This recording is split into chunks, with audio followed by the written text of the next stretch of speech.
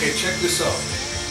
This is with the Easy app train. Watch. Okay? But the sound's not coming from the phone. It's coming from this little speaker.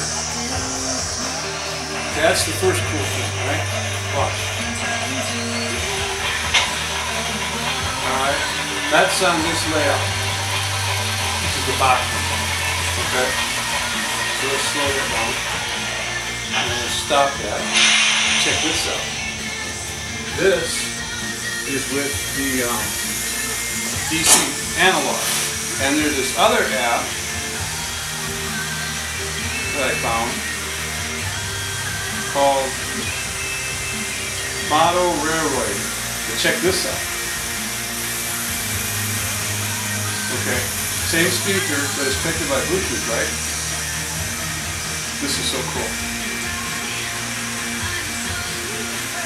Okay, now watch. It's got all these different things in it. So what you can do, watch.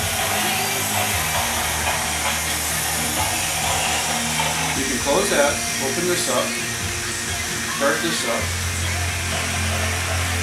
run this train, okay, close that out, to this, cuts off to there, and then now you have your steam turbine, you got your steam blast,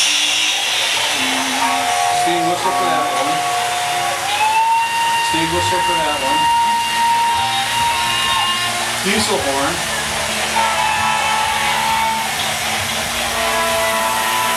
and if you want to go faster,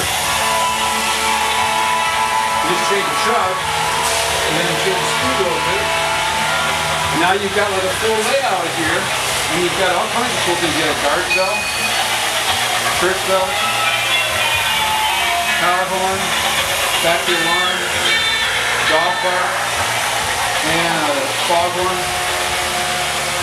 And you've got all these chugs, so then let's say you're, you're, you're having fun with this, okay? So you don't really know what to turn with the speaker comes from here. Now watch this. Go back to this, go back to this, and now you're back to this. Normally I would put that speaker in here if I wanted to run this by itself.